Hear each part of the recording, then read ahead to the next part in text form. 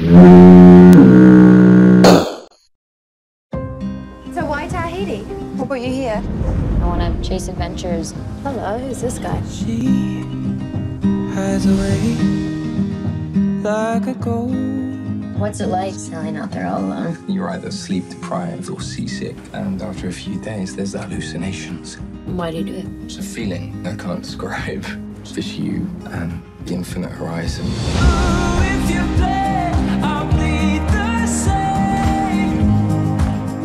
would you like to sail the Hazana to California for us? What do you think? I think 4,000 miles is insane. I'm not going anywhere without you. Come sail with me. Bon voyage, lovers!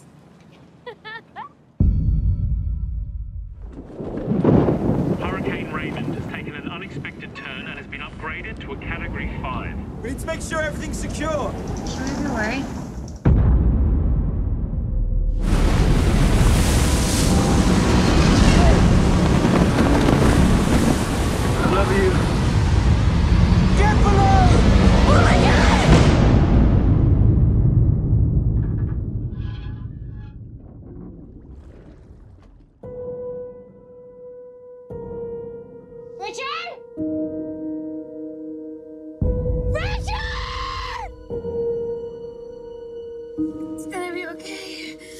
I'm gonna take care of you.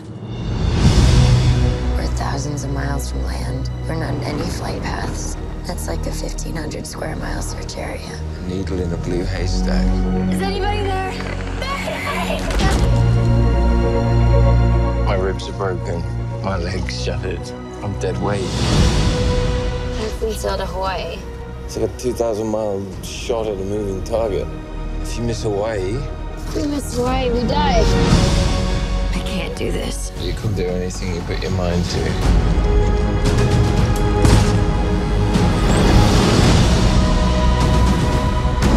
I sailed halfway around the world to find you. I'm not letting you go.